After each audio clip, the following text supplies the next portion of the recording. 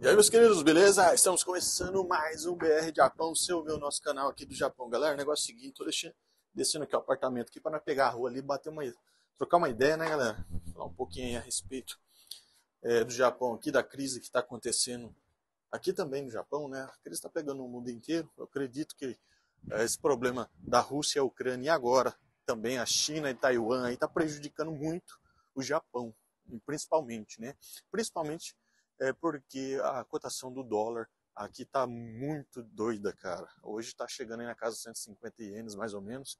A última vez que eu vi parece que estava 149 ienes ontem.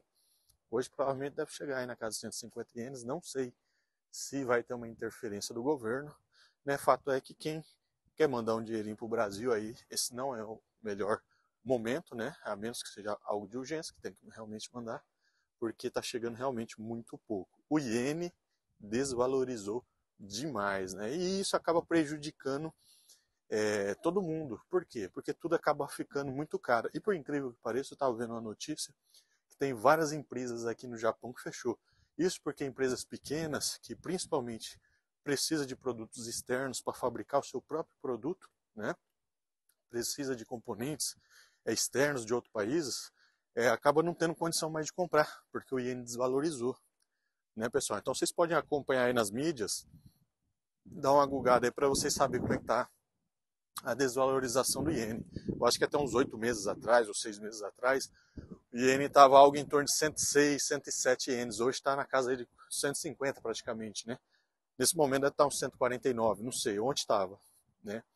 E com isso aí, pessoal, além das ter várias empresas aqui no Japão fechando, falindo, decretando falência, ainda por cima o preço dos alimentos, é, o preço dos combustíveis aqui tá caro, né? Tá sempre aumentando. Porém, porém, só não tá pior porque o governo japonês tem interferido, é, não vou falar interferido, né? Tem ajudado aí a manter o valor do combustível que hoje passaria fácil das casas da casa dos 200 ienes. Então tá hoje o, o, o litro da gasolina comum aqui dá um dólar né? Exatamente um dólar, ou passa um pouquinho de um dólar, né? Acredito que inclusive esteja mais caro do que aí no Brasil. Tem muita gente, pessoal, que eu acho engraçado, principalmente você que mora no Brasil, está assistindo esse vídeo.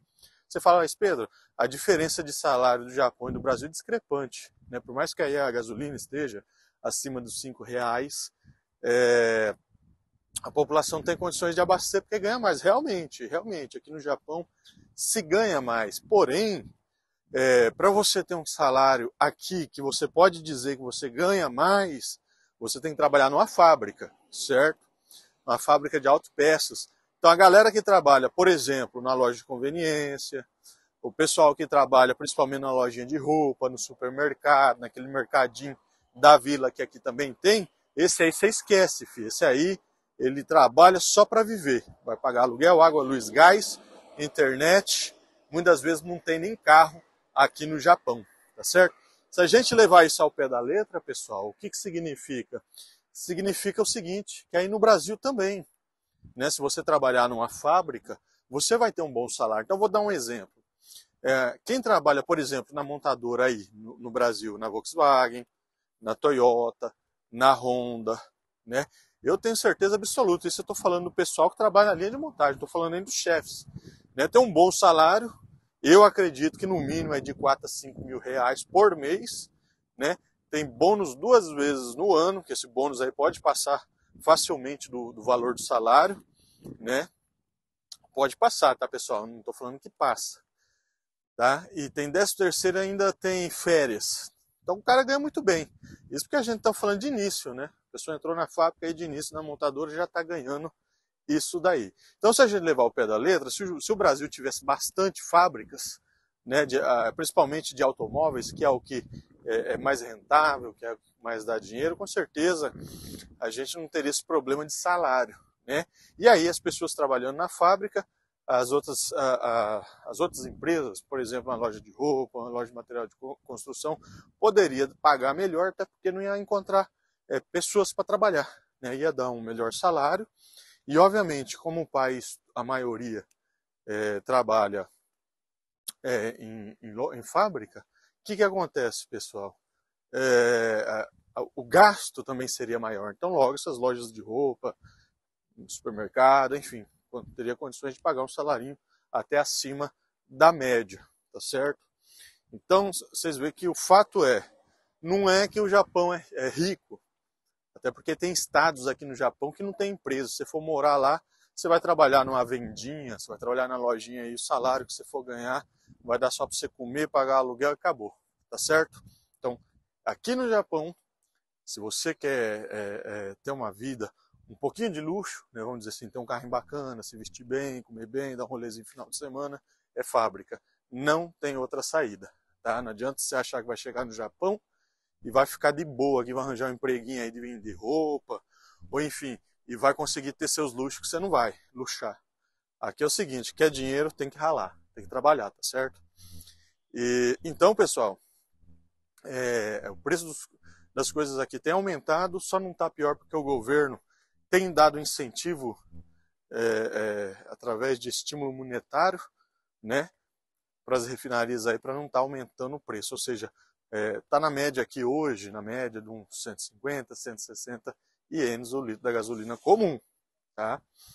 Então, acima disso, o governo está subsidiando, ou seja, está bancando.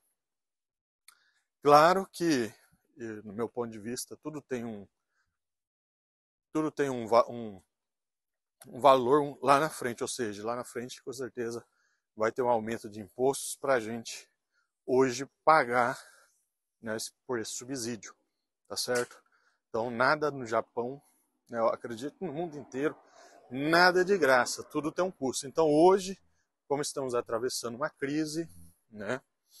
Então é, o governo está ajudando o país a manter o valor dos combustíveis, assim não permite que os produtos primários, como arroz, feijão, óleo, é, os alimentos, leite, ovo, enfim, aumente tanto o valor, e aí lá na frente, quando a crise acabar, né, que tiver tudo equilibrado, aí sim, o governo vem com a faquinha de dois gumes e fala, agora nós te bancamos vocês, agora é hora de vocês ajudar a gente também, né? Eu acredito que por um lado esteja até certo, né, pessoal, porque, é, veja bem, é, é, no momento da crise, né, se as coisas aumentar muito o valor, acaba que a gente não tendo condições de, de pagar. Então ele segura esse valor. Beleza, não é que a crise passa, então os produtos mantêm o preço, porque acabou a crise, mas os impostos aumentam um pouco. Então isso aí tem que fazer, não tem, não tem para onde correr. Infelizmente o mundo hoje é globalizado, né? a gente depende muito é, dos outros países, né? o Japão principalmente, o Japão ele importa né, tudo, toda a matéria-prima, desde a matéria-prima, aliás, para suas empresas até os alimentos, né, comida. Ó. Aqui a única coisa que de fato acredito que não importa é arroz, porque todo o terreno é, baldio, inclusive eu vou fazer um vídeo, tá todo terreno é, que não tem casa, só o terreno mesmo, né? é, o pessoal planta arroz, planta alguma coisa, não deixa o terreno igual no Brasil. Eu acho isso muito interessante. Vou fazer um vídeo depois falando a respeito desse assunto, né?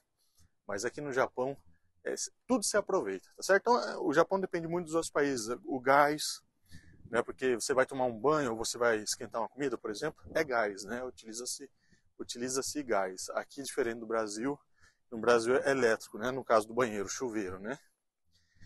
E o gás a gente muito provavelmente deve comprar da, da Rússia, acredito, né, ou pelo menos parte dele, né, da Rússia. E a Rússia e o Japão estão tá no momento aí de uma, de uma crise muito grande, assim como também o Japão e a China e até a Coreia. Né? O Japão está ferrado. Se a gente for falar aqui com quem que o Japão se dá bem, eu acho que só os Estados Unidos e ali a Europa, né? E o Brasil, né? O Brasil, o Brasil é um país, é um povo, infelizmente, que briga entre si. Infelizmente, cara, não gostaria que isso acontecesse, principalmente por causa de política. Mas é, é um povo, né? A gente, entre nós, tem os nossos probleminhas, mas a gente deixa os outros países em paz, né? A gente não tem essa ganância de querer é, é, é tomar outros países, de querer dominar o mundo. É, graças a Deus, né? Graças a Deus é um país, é um povo muito em paz quando é referente a esse assunto, mas a gente precisa gerenciar também nossos assuntos internos, né, pessoal? Saber respeitar a escolha do próximo. Aí ah, a pessoa não vai escolher o presidente que você vai escolher, porque o cara é isso ou é aquilo. Tem que respeitar, não tem jeito. Entendeu? Nós vivemos numa democracia e a gente que tem que dar exemplo para os políticos, até porque os políticos saem da sociedade, eles não vêm de outros planetas, né?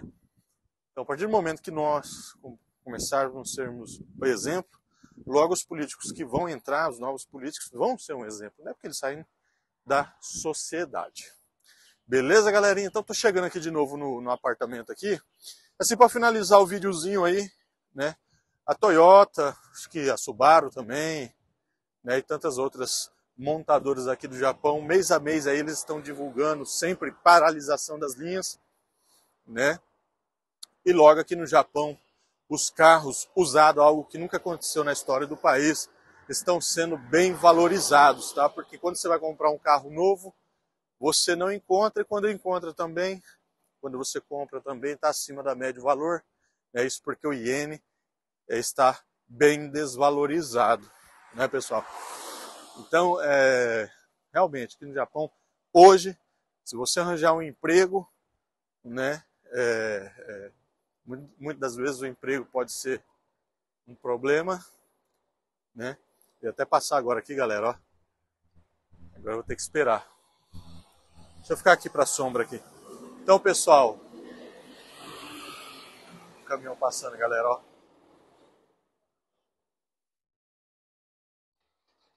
Sinalzinho verde ali. Então não posso passar agora.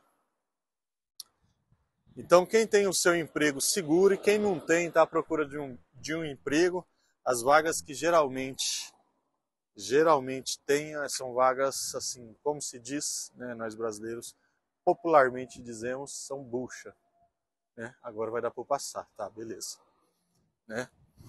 E não está difícil realmente arranjar emprego, não está fácil arranjar emprego, mas não está difícil, não está impossível, tá, pessoal?